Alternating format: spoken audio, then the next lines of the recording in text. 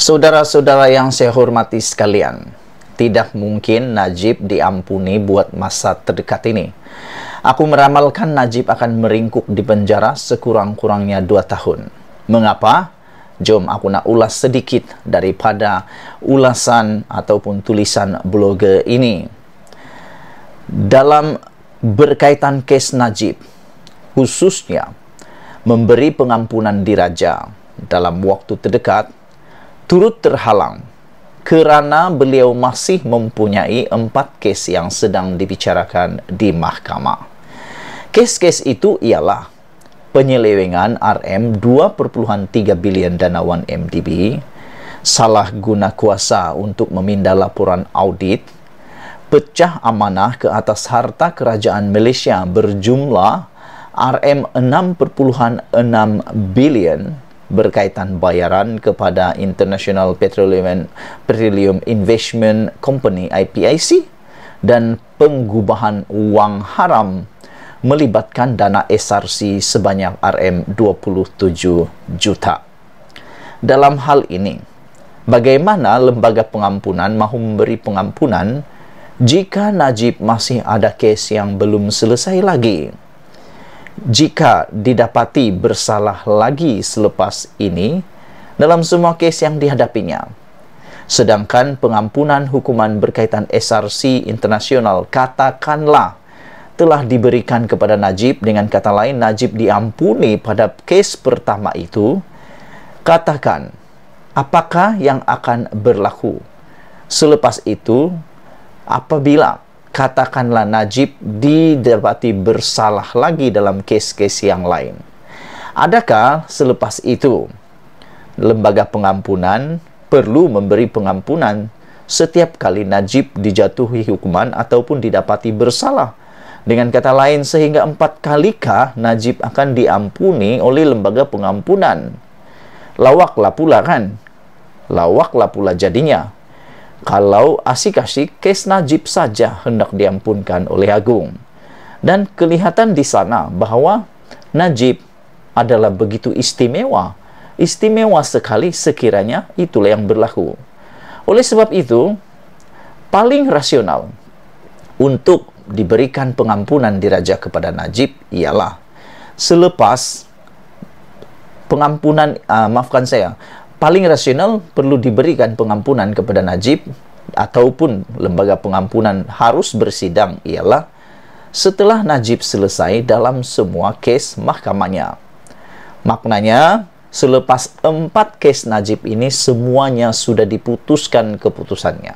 Telah dibacakan keputusannya, barulah lembaga pengampunan rasional wajar bersidang. Kerana jika tidak, ini akan menyebabkan empat case yang lain lagi itu akan tergantung dan menunggu demi menunggu. Dan akan sebenarnya pada pendapat aku membuang masa agung dan lembaga pengampunan tersebut. Saudara yang dihormati sekalian, paling rasional, lembaga pengampunan sekali lagi aku ulang, harus bersidang ialah setelah Najib selesai dalam semua kes mahkamahnya serta setelah menjalani sebagian besar daripada tahun hukuman yang diterimanya. Merujuk kepada kata-kata ataupun dedahan daripada ketua bekas ketua peguam negara, beliau mengatakan bahawa bekas peguam negara ini mengatakan uh, bahawa biasanya pengampunan akan diberikan. Biasanya pengampunan akan diberikan apabila pesalah itu telah menjalani hukumannya. Bekas peguam negara mengatakan selepas banduan tersebut ataupun pesalah tersebut menjalani sebahagian besar daripada tahun hukumannya dan dengan kebiasaannya setelah dua per tiga daripada hukuman itu telah dijalani.